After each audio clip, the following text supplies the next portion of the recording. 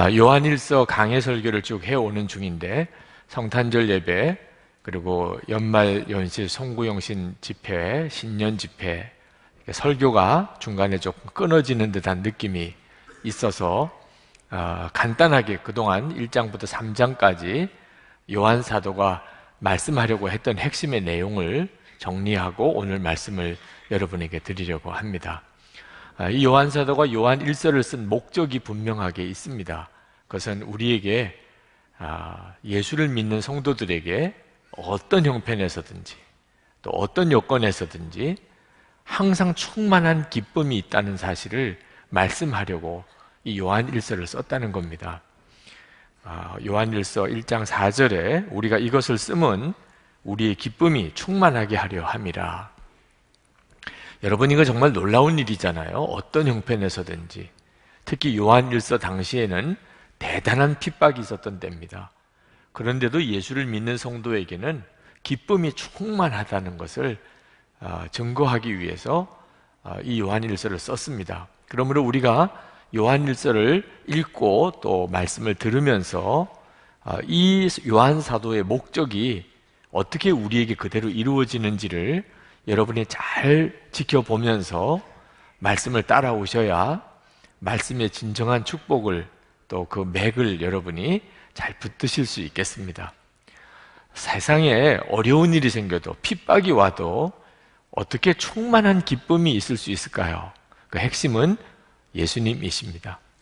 예수님이 정말 살아계시고 함께 하시고 또 우리의 생명이 되시고 그리고 그 예수님과 친밀하게 교제하고 사니까 형편이 대단히 어려워도 환란이 와도 우리 안에 충만한 기쁨이 있는 겁니다.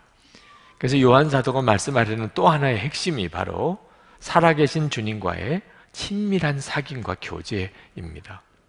이렇게 예수님과 친밀하게 어, 살아서 교제하는 믿음을 갖게 되면 이제 죄 짓던 옛날 생활 다 청산하게 되고 의로운 삶을 살게 됩니다. 예수님이 나와 함께 계시는 것을 아는데 어떻게 죄 짓고 살아요? 그죠? 그리고 사랑만 하며 살게 됩니다. 예수님 사랑의 주님이신데 주님이 나와 함께 계시니 이제 정말 사랑만 하며 다투고 욕심내고 다 싸우던 거 다 없어지고 사랑만 하며 살게 됩니다. 그리고 이렇게 의롭게 사는 것과 사랑만 하며 사는 것을 보면서 하나님의 자녀구나 마귀의 자녀구나 하는 것을 구분할 수도 있다는 겁니다. 아무리 교회를 다닌다 그러고 예수를 잘 믿는다 그래도 불법을 행하고 또 미워하고 또 원수를 풀지 않고 사랑하지 못하면 그는 마귀 자녀인 것입니다. 그건 대단히 중요한 분별 기준입니다. 그래서 요한 사도가 이제 4장에 와서 다시 한번 모든 영을 믿지 말고 반드시 점검해 보라는 겁니다. 겉으로는 예수를 잘 믿는 사람들, 겉으로는 다 믿음이 좋다는 사람들, 또 이렇게 귀에 들리기에는 솔깃한 여러 가지 교훈과 진리, 뭐 예언을 받았다는 그런 말을 들어도 항상 이 영이 어디서부터 왔는지를 점검하라는 겁니다. 요한 사도가 적그리스도가 교회에서부터 나왔다고 말했잖아요. 적그리스도가 같은 교인들이었습니다. 한동안에는 예수를 잘 믿는 사람들인 줄 알았어요. 그런데 나중에 보니까 그들이 적그리스도였다는 겁니다. 여러분, 하나님이 죽었다고 이렇게 어, 외쳤던 니체, 그가 목사 아들이었고 신학생이었습니다. 그러므로 어떤 말을 듣든지 이것이 영이 어디서부터 온 것인지를 우리가 분별해야 합니다. 오늘 4장 1절에 사랑하는 여러분, 어느 영이든지 다 믿지 말고 그 영들이 하나님에게서 낳는가를 시험하여 보십시오. 거짓 예언자가 세상에 많이 나타났기 때문입니다. 그런데 이 영을 분별하는 기준으로 요한 사도가 말씀하시는 것이 예수님의 성육신을 믿느냐 하는 겁니다. 예수님이 육체로 나셨다. 정말 참 하나님이 참 사람이 되셨다는 것을 믿으면 하나님께로 온 영이고 그걸 믿지 않으면 그는 하나님과 상관이 없는 영이라는 겁니다. 2절 말씀에 여러분은 하나님의 영을 이것으로 알 수 있습니다. 곧 예수 그리스도께서 육신을 입고 오셨음을 시인하는 영은 다 하나님에게서 난 영입니다. 아니, 갑자기 웬 교리 이야기인가? 여러분, 교리 나, 교리 이야기 나오면 잠만 오시는 분들도 있으시죠? 어, 갑자기 성, 성육신이라고 하니까 아, 듣기가 좀 어, 어색하고 힘들어 하시는 분들 계시겠지만 대단히 중요한 내용이니까 잘 들어보시기 바랍니다. 예수님이 육체를 입고 오셨다. 예수님이 하나님이신데 또 사람이 되셨다. 이 성육신인데 이 믿음이 있고 없고가 우리 신앙생활에 미치는 영향이 엄청납니다. 마귀는 우리를 예수님의 속주의 복음을 알지 못하고 믿지 못하도록 발악을 합니다. 어떻든지 예수님의 속주에 대하여 우리로 믿지도 알지도 못하게 하려고 발악을 하는데 그 예수님의 속죄를 믿지 못하게 하는 키가 되는 것이 바로 성육신입니다. 하나님이 사람이 되셨다는 하나님이 사람이 되셨다는 것만 안 믿어지면 그러면 십자가도 아무 의미가 없고 예수님의 부활도 없고 우리의 구원도 없고 우리의 속죄함도 없습니다. 그 초대교회 때 벌써 예수님은 성육신 하신 게 아니다라고 주장하는 이들이 생겼어요. 그 사람들이 영지주의자라고 말합니다. 여러분들 중에는 좀 낯선 이야기로 들릴지도 모르겠고 이미 들어보신 분들도 있겠지만 초대교회 자체가 무너질 뻔했던 무서운 이단입니다. 근데 그들이 다 예수를 믿는 사람들이었고 교인들이었습니다. 그런데도 그들은 예수님이 성육신 하신 것을 믿지 않았어요. 이 영지주의자들은 어떻게 생각했냐면 사람은 영과 육으로 되어 있다. 라고 생각했고 영은 굉장히 중요한 영생을 얻는 것이니까. 영은 구원받아야 되고 그리고 육은 이건 죄 덩어리 어쩔 수 없이 세상 식도로 살다가 죽으면 끝나는 거 육은 그러니까 사람은 이렇게 둘로 구성이 되어 있는데 육은 기대할 거 없고 영은 반드시 구원받아야 되는 것. 이렇게 나누었어요. 그래서 예수를 믿으면 영원히 구원을 받는 겁니다. 그래서 영생을 살아요. 육신은 이렇게 살든 저렇게 살든 이 세상에서 죽으면 끝나요. 그래서 뭐 육신으로 어떻게 바로 사는 것은 기대하지도 말고 강조하지도 않고 그런데 하나님은 거룩한 영이신데 이렇게 죄 덩어리인 육신을 입고 오셨다. 말도 안 된다는 거예요. 그 영지주의자들은 예수님이 귀한 분이라고는 생각해요. 그러나 예수님은 인간일 뿐입니다. 하나님의 성령께서 이 한 예수라고 하는 한 사람을 택해서 그 속에 들어오신 건 사실이에요. 그 사람 속에. 그러나 예수님과 하나가 되신 건 아니에요. 그러니까 예수님, 인간 예수 속에는 하나님의 영도 있고, 그리고 인간 예수도 있어요. 같이 있었어요. 그러다가 예수님이 천국 복음도 전하시고, 또 기적도 행하신 것은 다 하나님의 성령으로 된 거죠. 그렇지만 예수님이 십자가에 죽으실 때 하나님의 성령은 떠나가셨어요. 왜? 하나님은 죽으실 수가 없으니까. 그래서 죽은 것은 인간 예수만 죽은 거죠.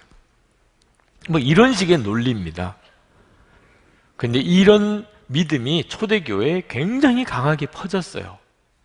아, 영혼과 육신이 있는 거구나. 영혼은 중요한 거고 육신은 살아보니까 뭐 어쩔 수 없이 죄 짓는 몸이고 그러니 영혼만 구원받으면 되는 거구나. 육신은 뭐 어쩔 수가 없이 그냥 버림받은 것처럼. 그러니까 아무렇게나 살아도 상관이 없구나. 그래서 그게 구원의 복음인 줄 알았다니까. 이게 얼마나 무서운 사상인가 하는 것을 요한 사도가 말씀하고 있는 겁니다. 왜? 정말 예수님이 참 하나님이시면서도 참 사람이 아니었다면 십자가는 완전히 쇼예요. 인간 예수가 죽은 것이 왜 우리에게 구원이 됩니까? 하나님이신 분이 사람이 되셔서 죄 없으신 몸으로 죽으셨으니 우리의 속죄주가 되신 거지요. 하나님은 떠나시고 사람이 죽었습니다. 그러면 우리의 속죄주가 되실 수가 없지요. 하나님 그분이 그리스도시니까 부활하셨는데 인간 예수가 어떻게 부활합니까? 왜 부활도 없는 거죠. 게다가 지금 우리에게 예수님께서 오셔서 우리와 함께 하시고 우리와 온전히 하나가 되어 주시고 예수님의 생명으로 살게 되는 이런 역사도 없는 겁니다. 성육신 자체가 가짜인데 예수님이 내 몸 안에 오셔서 나와 한 몸이 되시는 것 이건 있을 수도 없는 거죠. 그렇다면 예수님으로 사는 것이 안 되니 죄 안 짓고 사는 것도 안 되고 사랑만 하며 사는 것도 불가능하지요. 성육신 하나를 안 믿으면 예수님이 그리스도라는 것도 말이 안 되고 그리고 예수님이 우리와 하나가 되셨다는 것도 없는 거고 하나님 뜻대로 살 수 있는 것도 불가능한 거지요. 그러니 정말 초대교회의 대위기였죠. 근데 여러분 중에 이 말씀을 듣고 목사님, 아, 참 위기였겠네요. 그런 영지주의자들이 있었습니까? 그런데 우리는 뭐 걱정 없잖아요. 우리는 다 성육신 다 믿습니다. 안 믿는 사람 손 들어 봐요. 어. 성육신 안 믿는 사람 여기 어디 있어요? 아, 예수님이 사람이 되셨다. 아주 막 귀에 못이 박히도록 들었어. 예수님이 그리스도시라. 우리 다 믿어요. 예수님 그리스도, 예수 그리스도. 안 믿는 사람 누가 있어요? 그죠? 목사님 걱정하지 마세요. 우리는 그런 사람들 아닙니다. 요한 사도는 걱정을 했을지 모르지만 우리는 다 성육신도 믿고 우리는 다 예수님이 그리스도라고 믿습니다. 그런데 이게 문제가 있는 거예요. 초대 교회 때는 예수님이 그리스도라고 안 믿는 사람들은 안 믿는다고 그러고 예수님이 성육신 하신 게 안 믿어지는 사람은 안 믿어진다고 그래서 구분할 수가 있었어요. 아, 이 사람들은 하나님께로 온 사람들이 아니구나. 이 사람은 정말 하나님의 영으로 신앙생활 하는 사람이 아니구나. 그거 알았어요. 본인의 고백이 분명하니까. 지금은요, 다 믿는데 다. 예수님 성육신 다 믿는데. 왜? 하도 그렇게 배웠으니까. 예수님 그리스도 아, 모르는 사람 없어요. 무슨 말인지도 모르고 그냥 예수 그리스도예요. 그래서 지금은요, 오히려 문제가 있는 영으로 신앙생활 하는 사람들을 분별도 못해요. 다 믿는다니까. 아, 믿는다는데 어떻게 믿는데? 예수님이 그리스도인 걸 믿으시면 다 아멘인 걸 물어보지도 않아요. 다 아멘 할 줄 알고. 제가 목회하면서 성도들이 아멘 하는 걸 다 믿었다가는 안 된다는 정말 서글픈 경험이 있어요. 그래서 저는 아멘에 대해서 특별히 강조를 안 하는 것은 잘 알고 정확하게 아멘이 되는 것만 아멘을 해 보셔야 비로소 내 믿음을 정확하게 분별할 수가 있는 겁니다. 지금도 말입니다. 요한 사도 때와 똑같이 영지주의자들의 그런 교훈을 따라서 신앙생활을 하는 사람들이 너무너무 많습니다. 지금 이 시간에도 있으세요. 3절 말씀에 보면 그러나 예수를 시인하지 않는 영은 다 하나님에게서 나지 않은 영입니다. 그것은 그리스도의 적대자의 영입니다. 여러분은 그 영이 올 것이라는 말을 들었습니다. 그런데 그 영이 세상에 벌써 와 있습니다. 예수님을 시인하지 않는 영. 아, 이런 사람이 여기 있을까요? 그런지 안 그런지는 예수님의 말씀 한마디로 분별이 됩니다.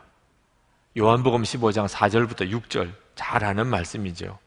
내 안에 거하라 나도 너희 안에 거하리라.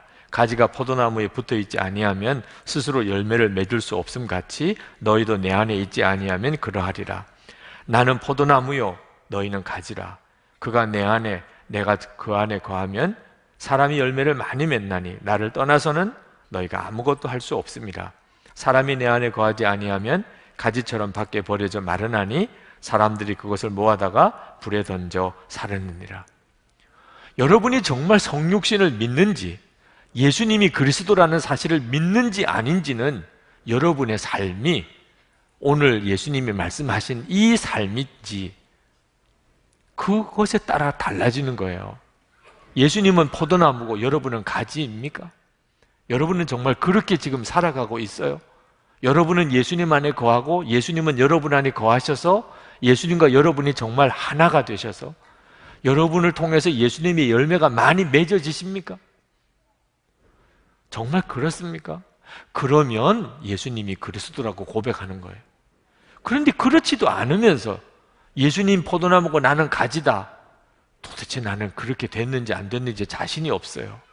예수님 안에 거하고 예수님은 내 안에 거하시고 아, 나도 자신이 없어. 말씀은 좋은데 그게 내 말씀인지 확신이 안 서요.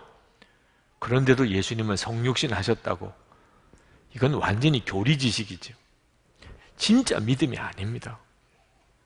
그런데 우리는 하도 듣고 배워서 그렇게 믿어야 된다고 그러니까 말만 그렇게 하고 입으로 고백만 하는 거예요. 그리고는 본인이 믿는 줄로 생각하는 겁니다. 나도 이제 제대로 된 믿음을 가지고 있다. 그러니 더 혼란스러운 겁니다. 정말 내가 예수님의 성육신을 믿고 그리고 나에게도 주님이 오셔서 예수님으로 내가 온전히 연합이 되어 예수님으로 사는 자가 되었는지 그게 그리스도라는 뜻이거든요. 내가 정말 그렇게 믿는지는 내 말을 보는 게 아니고 내 삶을 보고 아는 거예요. 지금 한국 교회의 문제는 완전히 형식적인 신앙에 물들어 버려 있습니다. 형식적인 신앙이 무서운 것은요. 겉으로 형식적으로만 믿으면 진짜 믿는 건 줄 아는 착각에 빠지는 겁니다. 들어서 아는 게 진짜 믿는 건 줄로 착각에 빠져서 자기도 속고 남도 속이고 사는 거예요. 예수 그리스도, 예수 그리스도 그러니까 다 그런 줄로 생각하는 겁니다. 입으로만 예수 그리스도지 실제로는 예수가 그리스도가 아닌 걸 그 사람에게서. 왜? 삶을 보니까 아닌 거예요. 삶을 보니까. 예수님이 그리스도라면 예수님이 생명이고 예수님이 주님이고 예수님이 왕이신데 예수님과 그 사람은 포도나무와 가지처럼 한 몸인데 어떻게 삶은 그러나 말입니다. 4절 말씀을 한번 보세요. 여러분 안에 계신 분이 세상에 있는 자보다 크시기 때문입니다. 여러분, 예수님이 내 마음에 오신 것은 세상보다도 크신 분이 오신 거예요. 그러면 그걸 진짜 믿는다면 어떻게 세상 사람들처럼 살아요? 내 안에 세상보다 크신 분이 오셨어요. 그러면 누가 두려우며 뭐가 염려가 됩니까? 우리가 세상에 나가 살 때 세상보다 크신 주님을 마음에 모시고 사는 사람이라면 당연히 세상의 소금이고 빛으로 살고 세상 사람들이 알지요. 저 사람은 도대체 어떻게 저렇게 사나?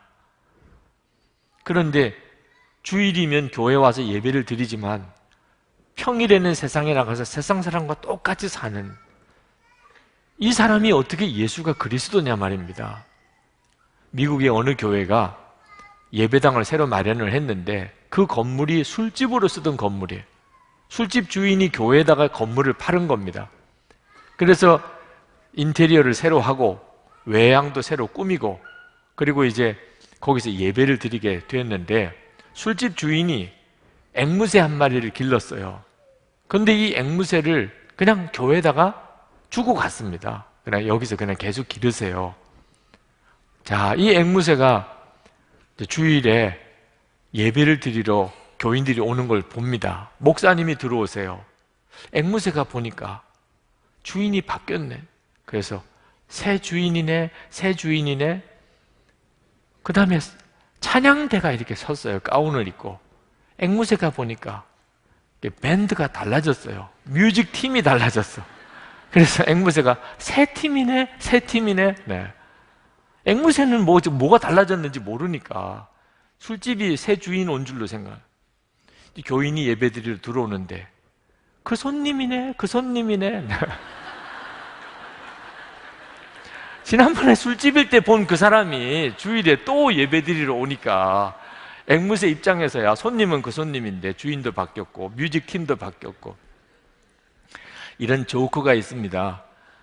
크리스천들이 평일에는 늘 세상 사람과 똑같이 살다가 주일에만 교회 와서 예배 드리는 것을 아주 비, 비유한 조크죠. 그런데 이 점에 대해서 나는 아니야 라고 말할 수 있는 분이 여기 몇 분이나 계시냐 말입니다. 세상에 나가 살 때는 세상 사람처럼 살고, 그리고 오늘 교회에 와서 이렇게 예배 드리는 것. 이게 꼭 영지주의자들이 하는 태도예요. 영지주의자들이 그랬단 말입니다. 그러니까 이런 믿음이 확산된 거예요. 사람들이 이해하기가 쉬운 겁니다. 영혼은 구원받았어. 영혼은 예수 믿고 영혼은 구원받았어. 육신은 아유, 육신은 어쩔 수 없이 세상 식대로 사는 거지 뭐. 하나님도 이해하실 거야. 그냥 교회 가서 회개하고 또 용서 받으면 또 한 주간 동안 세상에서는 어쩔 수 없이 세상식으로 사는 거고 아주 그게 마음이 편안해요. 영지주의자들은. 우리는 내가 영지주의자라고 말은 안 하지만 실제로 살기는 똑같이 살잖아요. 이 영이 어디서 왔느냐 말입니다. 왜 이렇게 살지요? 내가 예수님과 정말 하나가 됐다는 게 안 믿어지는 거예요. 예수님이 내 안에 오셨지만 예수님 따로 나 따로 영지주의자들이 그렇게 주장했어요. 예수님은 인간 예수 안에 하나님의 영 따로 인간 예수 따로. 우리도 똑같이 생각하는 겁니다. 나 예수님 믿었어. 내 마음이 오셨겠지.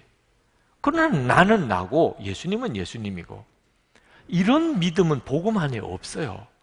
예수님을 영접했다는 말은 이제 예수님이 내 생명이 되신 겁니다. 나는 예수님과 함께 죽고 예수님과 함께 사는 자가 된 것이 바로 성육신의 믿음이 우리의 삶 속에 그대로 믿음으로 이루어지는 거예요. 어느 목사님이 교회 장로님들과 권사님들이 하도 싸우시길래 그래서 제 설교를 들어보라고 그랬대요.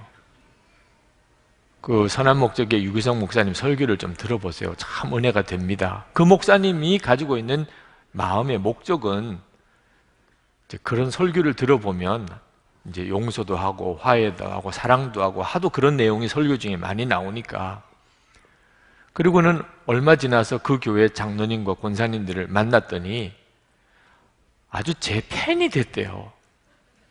듣고 보니까 뭐 은혜도 된다고 그러고 너무 좋아한다고 그러고 그래서 뭐 줄줄이 그냥 휴대폰에다가 담아놓고 듣고 다니면서 듣고 집회에 따라와서 집회에 참석하기도 하고 이랬 아주 뭐 유기성 목사 팬이 됐다고 그러더라고 그런데 여전히 싸운대 그러면서 메일을 보내시기를 이런 경우는 어떻게 해야 되냐 아주 제가 아, 나는 여전히 능력이 없는 설교자구나. 이런 생각이 들더라는 거. 설교 은혜 받았다는 것도요, 다 소용 없더라고요. 설교 은혜 받았다. 아, 정말 말씀이 너무 좋아. 근데 자기에게는 적용이 안 되는 겁니다. 누구 들으면 좋을 텐데, 아, 누구 들어야 될 텐데. 그 참, 말씀이 너무 좋아. 여러분, 우리가 형식적인 신앙에 빠져버리면 자기가 자기를 속입니다. 나는 잘 믿는 줄 알고, 나는 당연히 예수님은 성육신 하셨다고 믿고 나는 당연히 예수님 그리스도라고 믿지만 내 삶은 주변 사람도 다 알아요. 그 믿음이 그 믿음이 아닌 걸. 요한계시록 2장 4절에 보면 에베소 교회를 향하여 주님이 말씀하십니다. 너를 책망할 것이 있나니 너의 처음 사랑을 버렸느니라. 그러므로 어디서 떨어졌는지를 생각하고 회개하여 처음 행위를 가지라. 만일 그리하지 아니하고 회개하지 아니하면 내가 내게 가서 내 촛대를 그 자리에서 옮기리라. 예수를 믿고 은혜 받았을 때 그 행위를 너가 잃어버리면 안 된다는. 우리 주님은 지금 내 삶을 내 행위를 보시는 거예요. 요한계시록 3장 1절에 4대 교회에게 말씀합니다. 내가 내 행위를 아노니 내가 살았다는 이름은 가졌으나 죽은 자로다. 요한계시록 3장 15절에 내가 내 행위를 아노니 라오디게아 교회를 향하여 하신 말씀입니다. 내가 차지도 아니하고 뜨겁지도 아니하도다. 내가 차든지 뜨겁든지 하기를 원하노라. 내가 이같이 미지근하여 뜨겁지도 아니하고 차지도 아니하니 내 입에서 너를 토하여 버리리라. 내가 말하기를 나는 부자라 부유하여 부족한 것이 없다 하나 내 공고한 것과 가련한 것과 가난한 것과 눈먼 것과 벌거벗은 것을 알지 못하는도다. 여러분 무서운 미혹이 와 있습니다. 차라리 안 믿는다 그러면은 바로 잡아라도 드리죠. 안 믿는다 그러면 성육신에 대해서 다시 가르치고 예수가 그리스도라고 하는 것에 대해서 다시 가르칠 수 있지요. 믿는 되는데 어떻게 믿는 되는데 뭐 다 믿는 줄로 넘어가는 거죠. 실제로는 삶으로는 안 믿는데 말이에요. 그 요한 사도 당시 초대교회보다 지금이 영적으로 더 어려운 때예요. 아주 무서운 때입니다. 마귀가 얼마나 간교하게 했는지. 윌리엄 로우가 경건한 삶을 위한 부르심이라는 책에서 세상에서 가장 훌륭한 성도는 가장 기도 많이 하거나 가장 금식 많이 하는 성도가 아니다. 가장 구제 많이 하는 성도도 아니다. 항상 하나님께 감사하고 모든 것에서 하나님을 찬양하는 성도다. 라고 말했습니다. 그런데도 어떤 성도는 목사님 예수를 믿지만 이제는 기쁨도 없고 감격도 없어요. 말을 쉽게 해버립니다. 예수를 믿지만 기쁨도 없고 감격도 없대요. 예수 안 믿는 겁니다. 예수를 믿는데 어떻게 그렇게 되냐 말입니다. 본인은 예수를 믿는다고 생각하지만 문제는 본인이 사는 삶을 봐야 되는 거죠. 감격도 없대요. 기쁨도 없대요. 그런데 어떻게 금방 예수를 믿는다고 말은 해야죠? 아, 내가 어딘사 떨어졌구나. 문제가 있구나. 내가 마음이 식어버렸어요. 사랑도 없고, 기쁨도 없고, 감격도 없어요. 내가 어디서 떨어졌지? 내가 예수님을 붙잡는 손을 어디선가 놓아버렸어요. 주님과 관계가 어디서 문제가 생겼어요. 그러면 본인이 찾아냅니다. 그런데 예수를 믿는데도 안 되는데 어떡하냐고 나오면 이 사람은 그냥 영원히 헤매는 겁니다. 예수를 믿어도 10년을 믿고 20년을 믿어도 왜 이렇게 시험은 많으며 왜 이렇게 상처는 많으며 왜 이렇게 낙심은 오며 그분은요 생명에 문제가 있는 거예요. 예수님이 생명이 아닙니다. 여러분 4절 말씀을 보세요. 여러분은 하나님에게서 난 사람들이며 6절에 보세요. 우리는 하나님에게서 났습니다. 여러분 사람이 다 똑같지가 않습니다. 세상에서 난 사람이 있고 하나님에게서 난 사람이 있습니다. 그래서 세상 사람이라고 하고 하나님의 자녀라고 하는 겁니다. 나기를 다르게 났어요. 우리가 세상에 나가서 사람들을 만나면 아니 우리가 다릅니까? 다 대한민국 사람이죠. 우리도 예수 믿기 전에는 다 그들처럼 그렇게 살았죠. 그런데 어떻게 그 사람들은 세상에서 났고 우리는 하나님에게서 났다고 말합니까? 예수를 믿을 때 우리에게 엄청난 일이 벌어졌어요. 생명이 바뀌어 버린 겁니다. 생명이. 예수를 내가 영접하는 순간에 나는 더 이상 세상에서 난 사람이 아니고 하나님에게서 난 사람이에요. 여러분도 여러분의 자녀를 낳았으니까 아시잖아요. 그러니까 여러분의 자녀죠. 여러분이 낳지 않은 아이는 여러분의 자녀일 수 없지요. 아니, 우리가 예수를 믿고 난 다음에 하나님에게서 난 사람이 되어버렸어요. 생명이 바뀌어버린 겁니다, 생명이. 그래서 우리가 예수 믿는 걸 나는 죽고 예수로 산다고 말을 하는 겁니다. 엄청난 역사가 일어난 거예요. 나는 죽었다. 장례식 이미 치렀어요. 세례 받을 때 우리는 장례식 치렀습니다. 그리고 이제는 예수님의 생명으로 사는 자가 되었어요. 여러분이 이 사실을 진짜 믿으면 여러분은 예수가 그리스도라는 걸 믿는 거고 예수님의 성육신도 믿는 거예요. 그런데 나는 죽었다는 게 안 믿어져.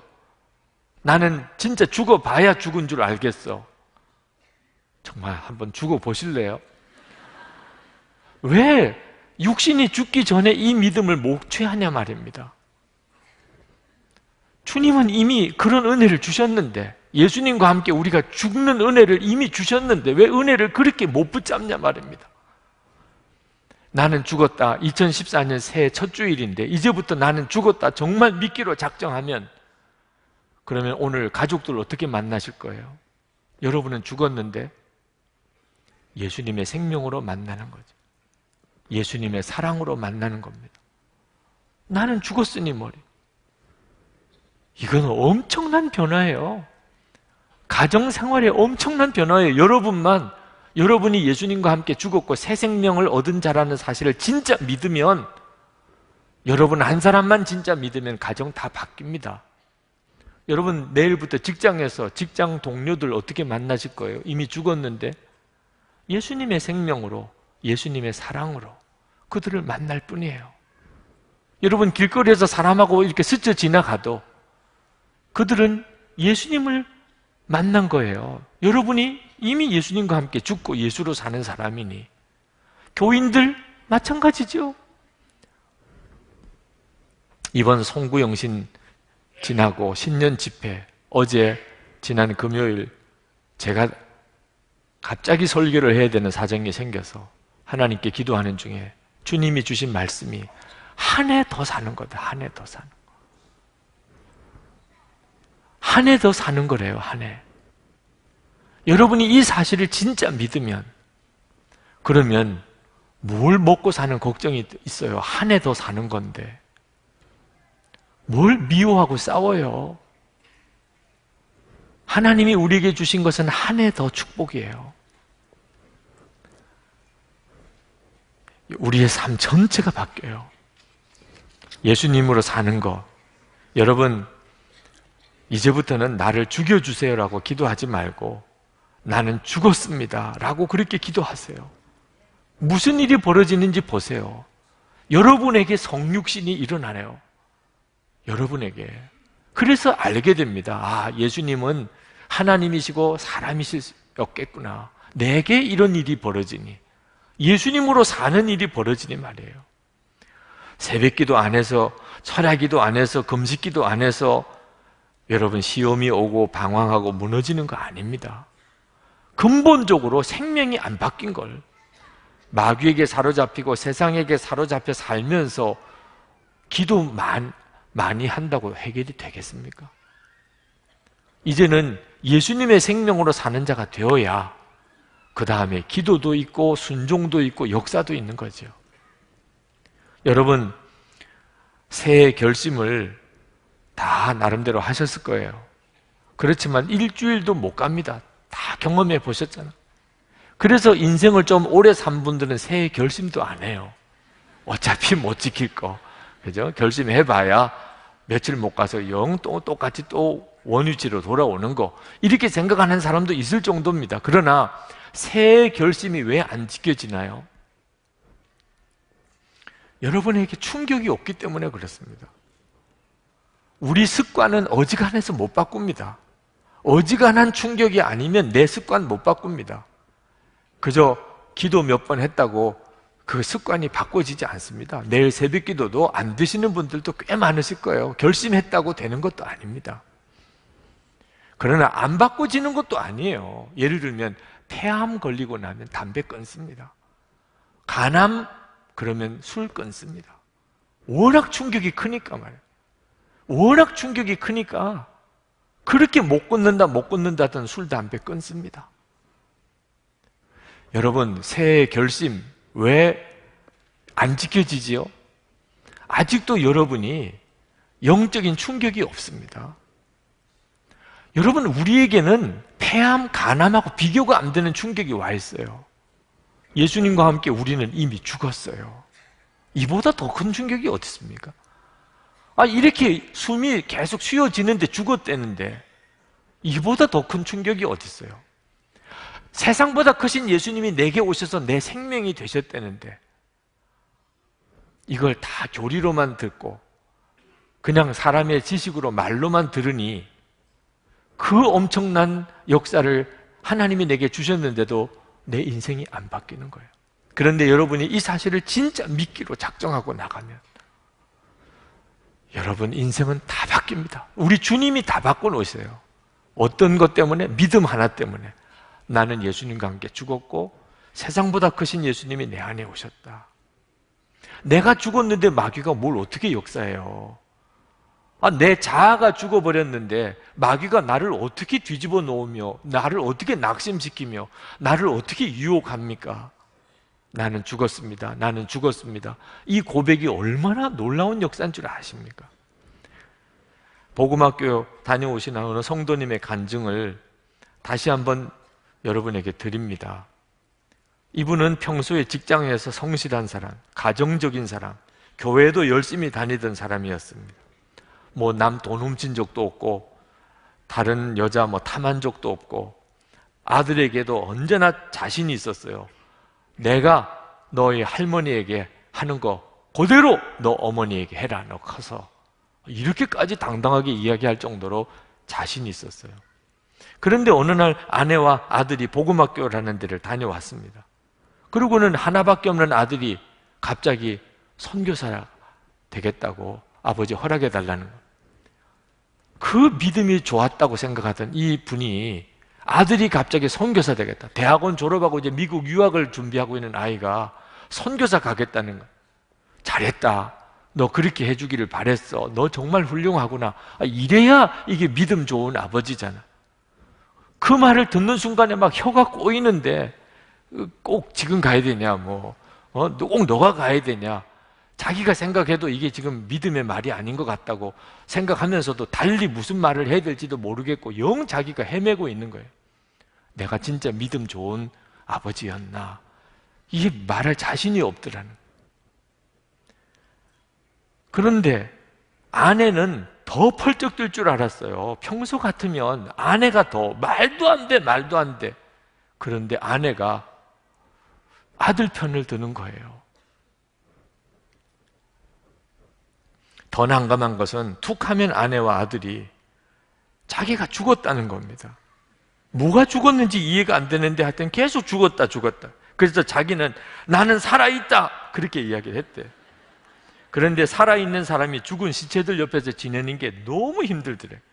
그래서 이제 머리를 굴려서 어떻든지 죽은 아내와 아들을 살려내려고 애를 썼는데 이게 마음대로 안 되는 겁니다.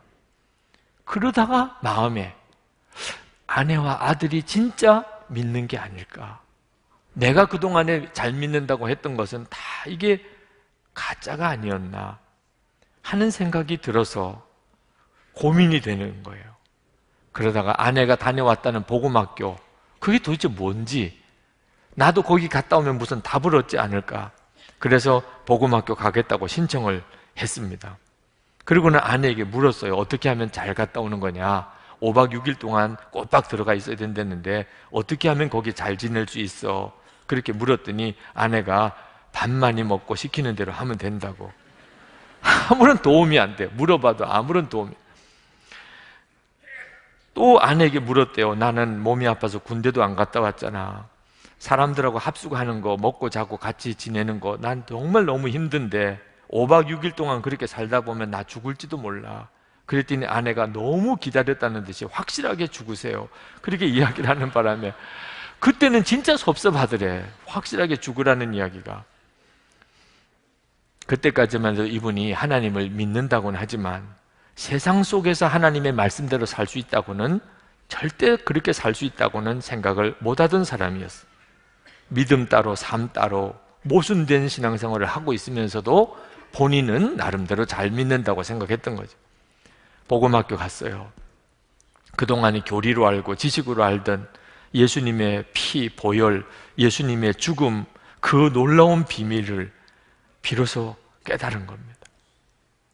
십자가에서 내가 죽고 예수님과 연합되었다는 이 놀라운 진리를 비로소 가슴으로 받아들이게 된 거예요.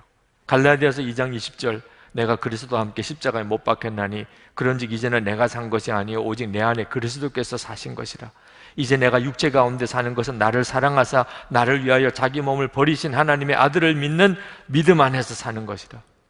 아, 이 말씀이 이해가 되고 이 말씀이 믿어지고 이 말씀이 사모하게 되고 이 말씀을 자기가 고백하게 되더라니까. 이제는 죽은 척 하는 게 아니고 진짜 죽은 거예요, 자기가. 새 생명을 얻은 기쁨이 너무나 찬양이 되는 겁니다. 이렇게 그는 십자가를 통과했어요. 그리고 집으로 돌아와서 아들을 만났습니다. 그 아들에게 아들아, 내가 선교사 가겠다고 처음 말했을 때 이 아버지가 기쁘게 잘했다 대답해 주지 못한 거 정말 미안하다. 하나님이 너를 도와주시겠지만 나도 너의 후원자가 되어 줄게. 너 정말 훌륭하다. 그렇게 끌어안아 줘. 진심으로 그래. 아들이 선교사 되겠다는 게 너무 기쁘고 너무 잘했고 그러면서 그분이 고백하기를 주님이 다시 오시는 그날까지 선교사님들을 돕는 자가 되든지 아니면 제 아내와 더불어 선교사가 되어 주님이 보내시는 그곳으로 가서 이 세상의 땅 끝에서 죽어 하늘 복판에서 주님 만나기를 기대하는 삶을 살고 있습니다. 여러분 생명이 바뀌는 일이요 이분만 아닙니다. 여기는 우리 모두를 향한 하나님의 계획이에요. 생명을 바꿔버린 겁니다. 그게 예수를 믿는 삶. 예수님의 생명이 내 생명이 되어버린 이것이 성육신이에요. 주님이 내 생명이 되셨습니다. 지금도 주님은 살아계신 주님입니다. 우리 안에서 말이에요. 내가 살아있는 믿음으로 붙잡으면 주님은 이제는 나를 통해서 많은 사람들에게 살아계신 주님이 되십니다. 성찬은 바로 이 살아계신 주님이 내 주님, 내 생명이 되신 것을 은혜를 받는 시간에 예수님이 눈으로 주님을 만나볼 때까지 이 성찬을 통하여 예수님과 우리가 한 몸인 것을 우리 안에 살아계신 것을 우리에게 다시 확인하고 또 확인하라고 하신 겁니다. 요한복음 6장 57절 58절에 살아계신 아버지께서 나를 보내심에 내가 아버지로 인하여 사는 것 같이 나를 먹는 그 사람도 나를 인하여 살리라. 이 떡을 먹는 자는 영원히 살리라. 여러분 오늘 성찬은요 엄청난 축복입니다. 예수님과 나는 이렇게 한 몸인 거예요. 살아계신 주님은 이렇게 나와 같이 계신 거예요. 나를 통해서 일하시는 분이세요. 여러분이 이 사실을 정말 믿으세요. 이제 한 해 주어진 겁니다. 진짜 예수님으로 사는가 아닌가. 이번에도 안 되면 찍어버릴지도 모르겠다. 여러분, 이 각오로 올 한 해를 사시면 여러분의 남은 생에는 정말 말씀이 그대로 이루어지는 삶을 사실 것입니다. 이제 우리 주님과 온전히 연합하는 이 놀라운 축복의 은혜를 감사하며 그렇게 살기로 결단하는 기도를 드리시고 그리고 성찬을 받겠습니다. 우리 다 같이 통성으로 기도하겠습니다.